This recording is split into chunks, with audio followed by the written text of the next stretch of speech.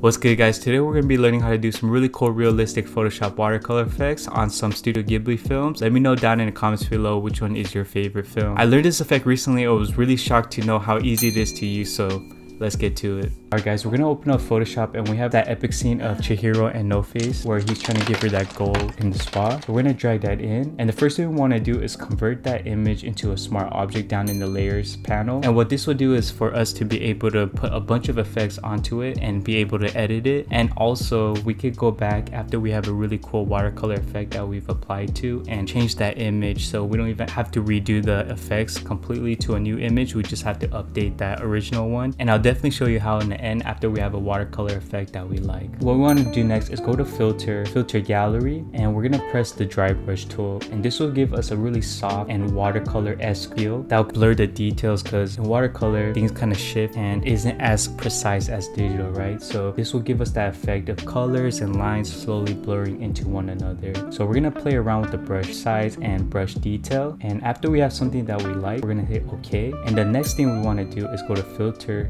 filter gallery again, and now we're gonna go to cutout. And what cutout would do is simplify the shape even more. So we're just gonna play with the number of levels and edge simplicity and also edge fidelity. And it might look super drastic at first, but what we could do is on the layers panel, we're gonna just click on that little diagram with the two lines and two arrows, hit pin light, and this will help us to mesh those two effects together. And after we have that done, we wanna add a smart blur and it's gonna open up this panel that we play with the radius and threshold. Gives us a little view port where you can see how the effects take place. So after we hit that, you can see all the details soften a lot more. And we can always go back and play and edit things here and there. All right, last step we want to do is go to filter gallery again, stylize, and then we're gonna do find edges. And what find edges is going to do, it's gonna bring back some of the dark line weights that slowly disappeared throughout the filter effects that we've done. So what we want to do is after find edges, we're gonna double click the two bars with the icon on the right hand side again, set it to multiply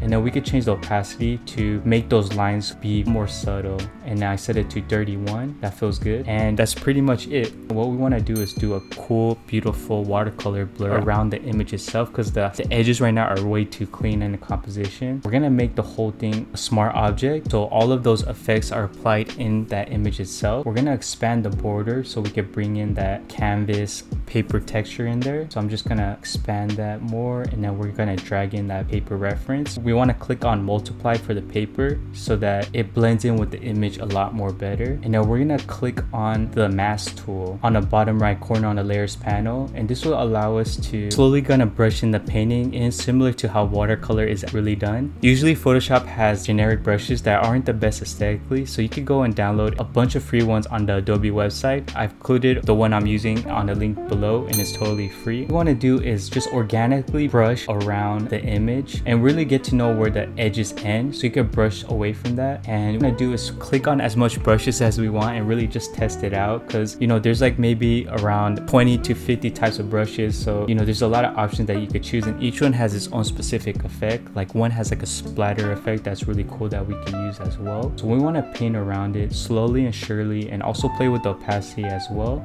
to get something that we really like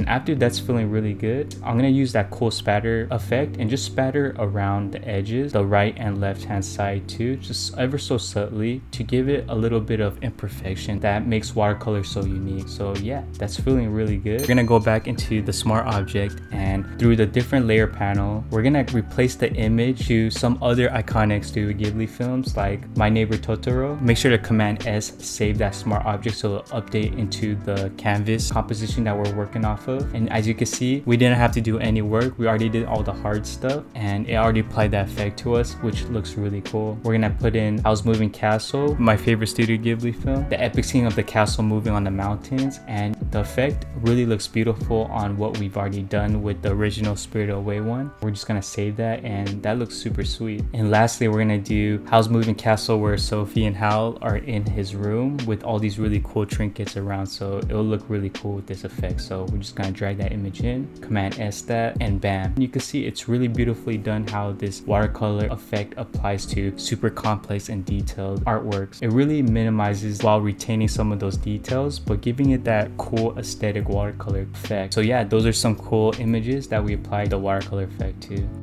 Alright guys, hope you enjoyed this quick tip. Excited for you to create some really cool and funky stuff with this watercolor effect. If you thought this video was helpful, please leave a like.